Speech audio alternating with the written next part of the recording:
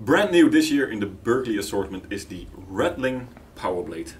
A blade bait, uh, completely lead free, so it's a zinc material uh, blade bait with an ABS rattle chamber. So there's stainless steel balls inside uh, that create a lot of vibrations and a lot of noise on the water when you fish it. it comes in three different sizes.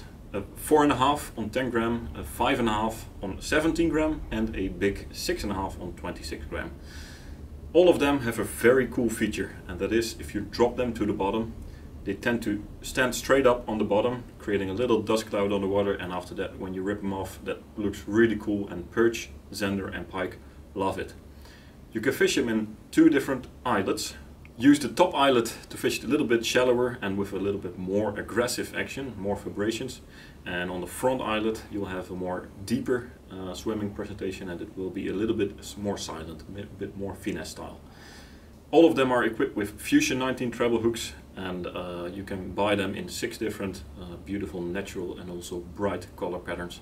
Killing for perch, zander and pike fishing. Go check them out, the brand new Berkley Rattling Power Blade.